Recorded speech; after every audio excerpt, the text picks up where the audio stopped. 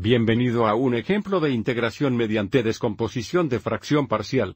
Si echamos un vistazo a la integral dada, primero debemos verificar que la sustitución básica 1 funcionará. Observe cómo el denominador es de grado 2 y el numerador es de grado 1, y por lo tanto, podríamos intentar dejar que sea igual al denominador de x al cuadrado menos 4x menos 5. Tenga en cuenta que si hacemos este diferencial, u sería 2x menos 4 veces dx y esto no se ajusta a la forma de la integral dada. Entonces, nuestra próxima estrategia será realizar una descomposición de fracción parcial en esta expresión racional dada. Queremos dividir esto en una suma o diferencia de fracciones que con suerte será más fácil de integrar. Entonces nos olvidaremos de la integral por un momento y nos centraremos en esta expresión racional. Entonces, el primer paso será factorizar el denominador. Entonces tendremos la cantidad 3x más 9 dividida por dos factores binomiales donde tenemos x, los factores de 5 negativos que suman 4 serían 5 negativos y 1 positivo. Y debido a que tenemos dos factores lineales distintos, nuestras fracciones parciales tendrán la forma de una constante a dividida por el primer factor lineal más una constante b dividida por el segundo factor lineal.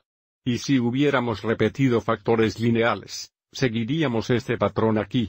Volviendo a nuestro ejemplo, esto va a ser igual a alguna constante a dividido por el primer factor lineal de x menos 5 más alguna constante b dividido por el segundo factor lineal de x más 1. Y ahora vamos a borrar las fracciones de esta ecuación, multiplicando ambos lados de la ecuación por la pantalla LCD, que sería la cantidad x menos 5 veces la cantidad x más 1. Observe que en el lado izquierdo x menos 5 sobre x menos 5 se simplifica a 1, y también lo hace x más 1 sobre x más 1, dejándonos con 3x más 9 iguales. Ahora, en el lado derecho, observe cómo este producto aquí, la x menos 5, se simplificaría dejándonos con a veces la cantidad x más 1, y luego para el segundo producto la x más 1 sobre x más 1 se simplifica dejándonos con más b multiplicado por la cantidad x menos 5. Esto se llama ecuación básica y ahora vamos a resolver esto para y b seleccionando valores convenientes de x. Observe como si seleccionamos x es igual a 1 negativo, este producto aquí sería 0. Entonces, primero elegiremos x es igual a 1 negativo y realizaremos la sustitución. Entonces, si x es negativo, observe cómo tendríamos 3 veces negativo 1 más 9, eso es 6, igual, si x es negativo 1 nuevamente esto sería 0, más b multiplicado por 1 negativo menos 5, eso es negativo 6. Entonces tendríamos 6b negativos dividiendo ambos lados entre 6 negativos. Observe cómo b es igual a 1 negativo. Ahora, para encontrar el valor de a, Seleccionemos x igual a 5. Observe que cuando x es 5, este producto sería 0. Entonces, si x es igual a 5, tendríamos 3 por 5. Eso es 15, más 9, eso es 24, es igual a multiplicado por la cantidad 5 más 1 que es 6a, y nuevamente. Esto sería 0, dividiendo ambos lados entre 6, observe cómo a es igual a 4 positivo. Así que ahora sustituiremos 4 por A. Y 1 negativo para B. Lo que significa que puedes escribir esta integral aquí como la integral de A dividida por X menos 5.